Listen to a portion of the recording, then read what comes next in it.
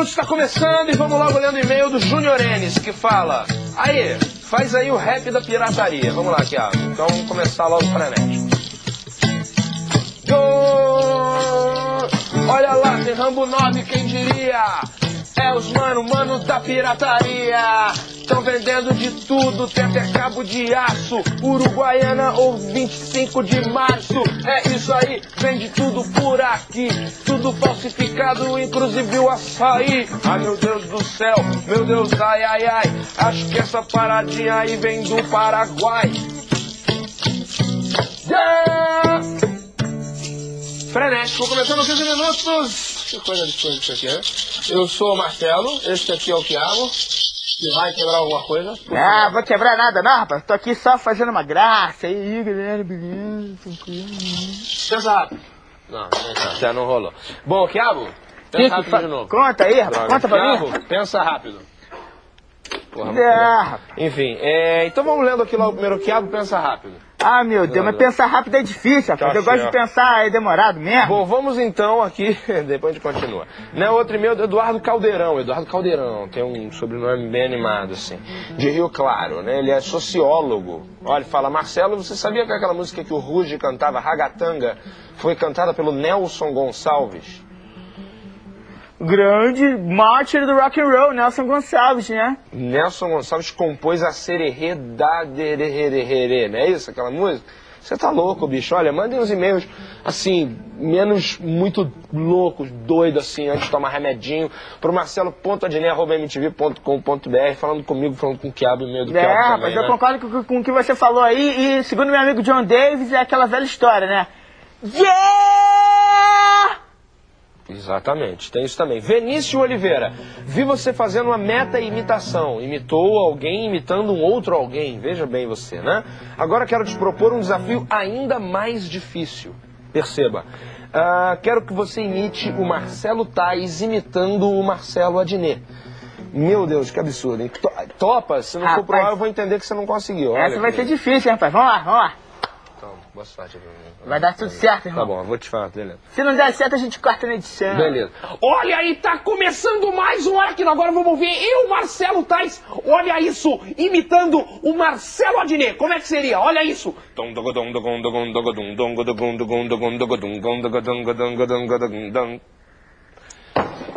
É isso aí, rapaziada. Todo mundo bem-vindos. Aqui é o Humaitá. Aí, Marco Luque, toca aí um reggae pra gente. Vou fazer aqui um reggae improvisado, hein? É improvisado, hein? Olha aí. Oh, quem diria que maravilha! O Sarney improvisado, hein? Tá lá em Brasília. Essa letra eu fiz agora. Eu estou muito aí fora. Lá em Brasília. Olha isso! Tá ótimo.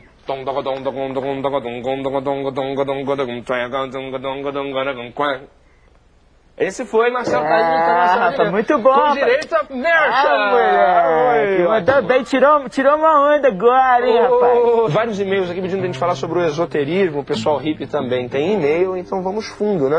O esotérico sempre sabe alguma coisa que você nunca sabe, né? É verdade. Pô, tô com uma dor de cabeça, tô... ah é, tá com uma dor de cabeça, peraí. Vira um pouquinho aqui. Aí, isso, olha, passou. Nossa, né? Chega mais perto aqui que eu vou te fazer um negócio em você. Não, mais perto mesmo. vou te apresentar uma cura pra um negócio aí também. É, esotérico pode facilmente enganar você também. É, você tá com dor de cabeça, gatinha? Tá mesmo? Então, tô frequentando ali, fazendo vários, porra, uns cursinhos aí de, porra, É, gente, a gente- tem que ficar nus e tal. isso, pode É. crer. Mas tu tem que ficar nu lá fora, eu fico nu com ela aqui dentro e a gente vai, porra, tipo, deixar o corpo mesmo, a pele levar, tá ligado? Se desprover do cérebro.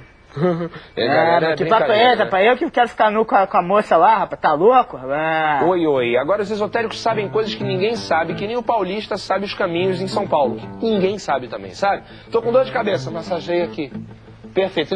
Onde chega no, no Pirituba, ah, você vai pegar aqui, onde você vai subir aqui a salinha falar Maluf, certo? Vai continuar na era, né? E ninguém passar ali a Nália Franco, mano, você não era, você segue, mano. Aí tu vai seguindo, tu vai chegar lá, imaginar o Tietê, mano, chega no Tietê, tu vira à esquerda. Só como aí você esterça ali, aí como tá tudo dentro, você vai por dentro, vira mais do Chafolini, vai por dentro pelo limão, vai lá por dentro, sobe ali, depois você já cai de novo na ponte, e quando você cair, for por baixo no Butantã, passar o portão 7, não é ainda. Segue reto, meu, ó, quinta ponte à esquerda, você vai pegar do terceiro sequestro relâmpago, você vira, mano. Depois que você morrer de poluição, tu vira a segunda direita ali, aí tu liga pra mim que eu te explico ali do posto, certo, mano? É isso aí, mano. Concordo com tudo que você falou aí de diadema todo dia, todo dia diadema. Isso aí é. Mapa astral, né? Mapa astral deve ser isso também, né? Ó, se eu pega Vênus ali, passando Vênus, vai ter uma nebulosa. Depois da nebulosa, o terceiro meteorito de centro-esquerda, tá? Vai ter um monolito, o senhor vai ver ali, é só me ligar que eu já tá do lado ali, é só tu perguntar pra qualquer um ali que vai saber te responder. Não, não, quem não faz o mapa astral pode se perder na viagem astral, né? Foi muito ruim essa. Tem várias modalidades também de ler. No tarô você lê o baralho, búzios, né? Você lê aquela concha. Né? O picareta ele lê o seu diário e faz uma previsão óbvia sobre você, né? O picareta. É, seu safadão. No dia 8, você brigou com Pedro. Ah, como é que você sabe o dia do seu diário? É, né? que sacana esse, cara. Não É. respeita a privacidade dos outros. Eu adoro anúncio esotérico colado no poste. Simpatias e amarrações, meu amor. Trago a pessoa amada em sete dias. Né? Tinha que ser, na verdade, simpatias que trago a pessoa amada em sete dias de moto 5, que é mais rápido. Trago a pessoa amada em sete dias se a Paulista não parar. Porque se parar ali, a gente vai ter que fazer o quê? Pegar mais essa folhinha, pegar a esquerda ali, pela minha cair na Brasil, trazer a Venezuela, vai cair na Colômbia e ligar para aquela rádio que fica todo mundo é, parado no meio do nada, não é? Bom, então agora eu vou perguntar uma coisa pra você. Você, meu amigo, você acredita em destino? Hum? Eu não acredito no destino. Eu acho que existe destino, mas eu acho que as oportunidades são a gente que cria. Não. Eu acredito no destino. Você tá à beira da morte. Você tem duas saídas. Ou você vai fazer o tratamento, ou você vai morrer. Porque as coisas acontecem por acaso. O seu destino pode ser ou você morrer, ou você correr atrás da, da cura. E destino é uma coisa que Deus traça na minha vida e eu mesmo, através de comportamentos também, de atitudes, né? A gente não veio nessa vida por acaso. A gente tem uma missão pra cumprir. Eu trabalho, trabalhava dois anos numa empresa. Acabei de pedir as contas. Eu não vou acreditar, por exemplo, que alguém num búzio, no tarô vai ler. Porque isso é mentira. Ah, eu acho que é destino. Porque quando às vezes a gente tá mal, aparece aquele amigo do nada, é seu destino encontrar aquela pessoa pra estar junto com você. Acontece porque tem que acontecer e pronto, acabou. Ah, rapaz. O, de- o destino, destino é aquilo, né, Diné? É isso aí. É aquilo. que eu sempre realmente concordo com tudo que você vem falando aí. viu? É. Eita! Agora tem negócio de chácara, né? Adoro chácara. Olha, você tem duas chácaras, dois chácaras, um chácara aqui.